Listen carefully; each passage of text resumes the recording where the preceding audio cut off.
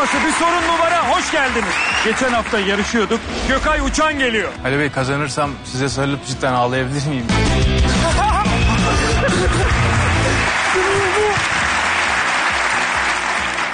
Büşra Aksu. 23 yaşındayım. Araba kullanmayı çok seviyorum. Yarış arabamız var. Bu soruyu kim bilemez? Raka, raka, Neymiş? raka, raka. Biz de horon oynarız o zaman.